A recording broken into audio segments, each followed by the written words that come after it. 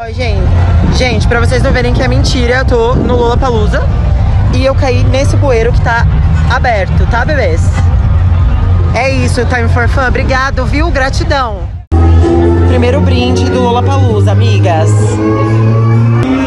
Cai no bueiro. É, na sexta-feira, primeiro dia de festival, eu vim tirar foto com os meus amigos aqui do lado do palco eletrônico. E eu acabei caindo num bueiro aberto. Andando normal, tranquilamente, caí num bueiro aberto. Ralei toda a minha perna, ralei a minha mão. E, cara, eu venho pro festival dos últimos três anos, então pra mim foi uma experiência bem ruim. Eu fiquei com dor por algumas horas. Eu procurei atendimento médico. Eles me deram um lencinho.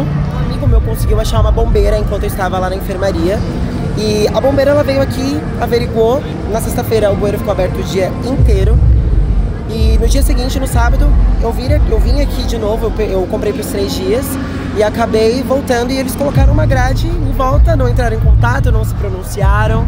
Eu tive que ir até o Twitter para conseguir, para tentar, na verdade, um, um, posicionamento deles em relação a isso. A minha ideia é, é expor isso para que eles consigam melhorar e, cara, e vou procurar os meus direitos, de verdade. Eu ralei a perna, tá? Eu ralei essa perna aqui, só não consigo mostrar agora porque eu tô de calça. Ralei a mão também, acho que a mão eu já consigo mostrar um pouquinho. A minha sorte foi porque eu sou bem alto, eu tenho 1,87 de altura, né? Mas se vocês conseguirem dar uma olhada no bueiro, ele é bem fundo. Então, sendo sincero, acho que poderia ter acontecido algo bem, bem, bem pior. A minha sorte é que eu tava com alguns amigos ao meu redor, então eles conseguiram me ajudar.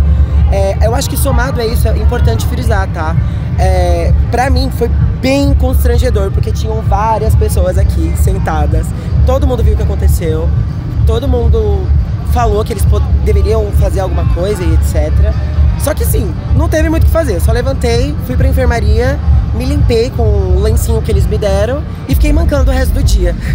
E tem um outro detalhe, tá muito, muito sol. E eu ralei a perna, então eu fiquei ardido o dia inteiro.